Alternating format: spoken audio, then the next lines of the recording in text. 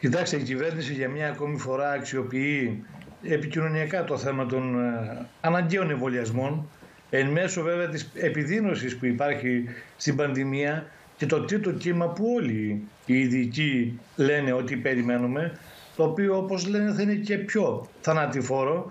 Προσπαθεί να κρύψει λοιπόν τις παλινοδίες όλη αυτή την περίοδο και τις εγκληματικές ευθύνες που έχει και για το δεύτερο κύμα αλλά και για το τρίτο γιατί αρνήθηκε να πάρει μέτρα για τη θωράκιση του δημόσιου συστήματος υγείας, αρνήθηκε να κάνει προσλήψεις, τις αναγκαίες προσλήψεις σε προσωπικό, να εξοπλίσει τα νοσοκομεία με το αναγκαίο υλικό, να επιτάξει τον ιδιωτικό τομέα της υγείας και όχι να τον μπουκώσει με παραπάνω χρήμα όπως έκανε η κυβέρνηση και βεβαίως να κάνει ελέγχους στους χώρους δουλειάς όπου εκεί έχουμε τα μεγαλύτερα, τα περισσότερα κρούσματα, τους περισσότερους διασωληνωμένους και θανάτους όπως και στις δομές, στις προνοιακές δομές, στα γυροκομεία και αλλού. Αρνήθηκε λοιπόν να κάνει όλα αυτά που πρότεινε το ίδιο το εργατικό λαϊκό κίνημα, οι ίδιοι οι γιατροί, οι, νοσ, οι νοσηλευτές και σήμερα έχει αυτές τις μεγάλες ευθύνες και δεν μπορεί να καλυφθούν πίσω από τον αναγκαίο όπως λέμε εμβολιασμό.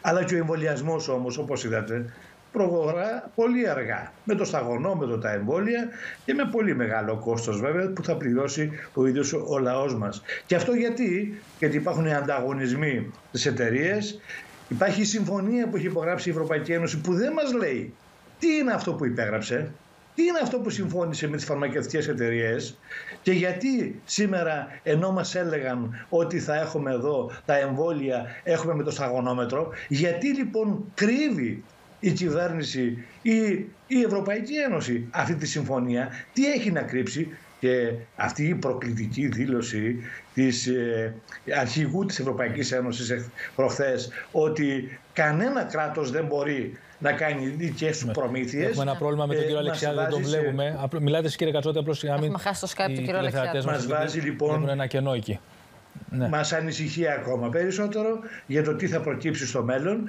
και αν πράγματι εδώ θα καλυφθεί η ανάγκη του εμβολιασμού του ίδιου του λαού Να απαντήσει ο κύριος Λαζαρίδης γιατί έχει ακούσει και από εσάς και από τον κύριο Αλεξιάδη ε, αρκετή κριτική θα έλεγα. Και τελειώνω με αυτό κύριε Σομόπουλε, εμείς δεν έχουμε καμία εμπιστοσύνη στην κυβέρνηση ούτε βέβαια στις δίθεν εθνικές συνεννοήσεις που προτείνει και ο ΣΥΡΙΖΑ, ε, πότε ο ΣΥΡΙΖΑ και πότε βέβαια το Κινάλ, αφού το μόνο που κάνουν είναι να δίνουν ένα άλοθη σε αυτή την πολιτική που πλήττει συνολικά το λαό μας. Επειδή το θέμα των εμβολιασμών θα είναι, είναι μια μακρά διαδικασία. Εμείς πιστεύουμε ότι ο λαός μας πρέπει να συνεχίσει τον αγώνα για την προστασία της υγείας, της ζωής και των δικαιωμάτων τους. Δεν μπορεί μέχρι να τελειώσουν οι εμβολιασμοί και μέχρι η πανδημία να εξαλειφθεί να έχουμε θανάτους διασωληνωμένους και κρούσματα. Λοιπόν, θα πρέπει να πάρθουν τώρα αυτά τα μέτρα που έχουν πολύ. προταθεί ή που διεκδικούν οι εργαζόμενοι και ο λαός μας.